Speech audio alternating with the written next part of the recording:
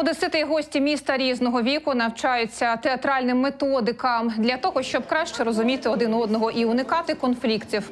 У групі Пульс міста навчаються усі охочі, а театральні заняття проводять безкоштовно. Людям часто не хватает каких-то ну, пространств, где можно по-человечески э, пообщаться с другими э, себе подобными людьми, э, выразить свою какую-то идею по, по каким-то микрошагам по улучшению, не знаю, коммуникации, как люди между собой общаются, чтобы это было, может быть, немножечко, хотя бы немножечко менее агрессивно, менее напряженно, какой-то больше эмпатии.